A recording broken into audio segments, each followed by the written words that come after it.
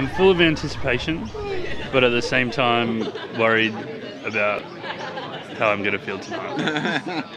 Probably pain. I agree. A little bit of pain, yeah. We have no idea. Rain. Looks a bit rainy over there. we don't know if we're going to be spending the night here again or if we go. hard day.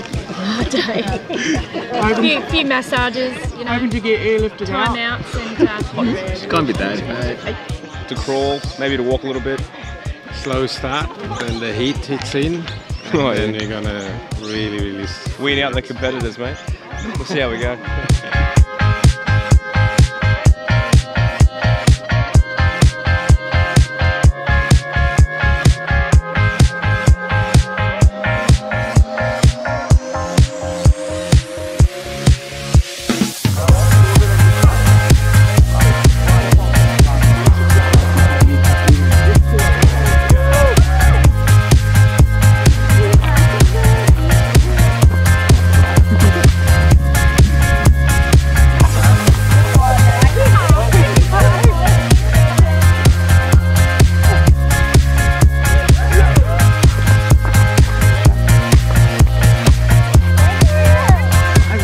Love this track. Whoa. We're just charging along and pushing each other. A few falls, a couple of like, slides on the butt. pretty easy. Pretty fun. Pretty fun to do it as a team though. We have hell coming. Um, we have an incline like this that we are really looking forward to. Uh, this is Victor. Victor the vacationer. So we're about to go. So ask us at the end how we're feeling.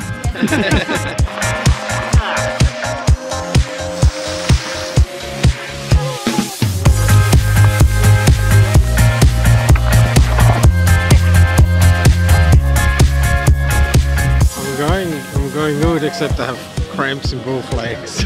Looking forward to the bar, hopefully. Even the diggers had beer.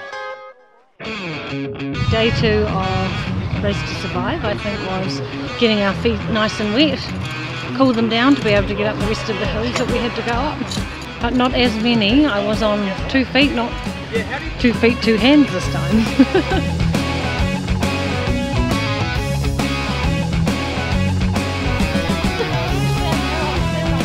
last two days have been character building.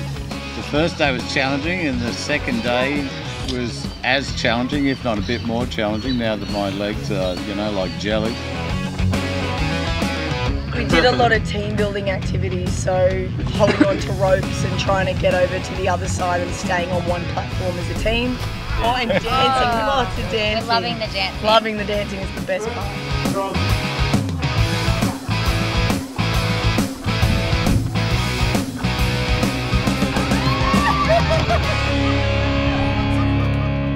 Whole feeling of the event is fantastic. The whole spirit is really good, yeah. Like, you know, mateship, endurance, um, Courage, courage, teamwork. teamwork, yeah. I'd do it a hundred times over. just the support that everyone has for each other. You know, no one really knows each other that well, but you know, you have people coming up and just offering to give you a hand with carrying your things or motivating you to keep going, and just the support from everyone was really good. They were really good in motivating me and getting me through the tough times. I've kept in my tears until I crossed the finish line, but apart from that, I stayed strong. And it really was a team, a team Yeah. environment. We had to do challenges that weren't just physical, but they were mental as well. And it really took everyone to be on board and contribute.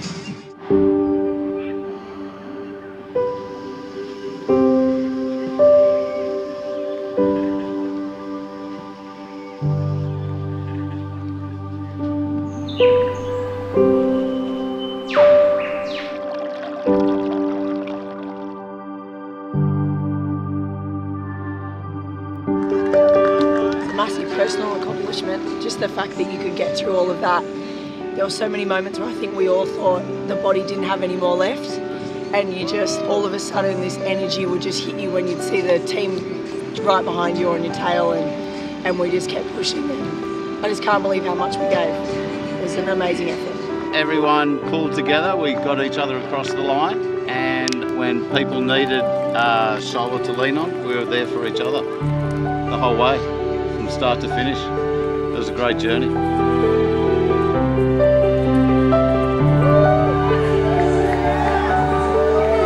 know, I think we just try and get behind what Accor does. Um, and I think for me as a young person, when you see people your age on the street with, with not much to look up to and, and that sort of thing, when you know an average person our age has everything to look forward to, it's um, it's something you jump behind and go, that's not fair or that's not right, and, and we can do something about that. You know, we work in hotels, so we, you know, have a lot of people who our hotel's like a second home, and so we know the importance of, you know, having that shelter and making that difference. Race to Survive means a lot, a lot to us because we are so blessed with where we are and what we do, and it's great to come together as such a big group and such a massive impact with all the funds we raise and actually proving that we are tough and we can actually do these things. And because of the size that Accor has, I think when, when everyone gets behind it, you know, half a million dollars is a lot of money and it does a lot of good things.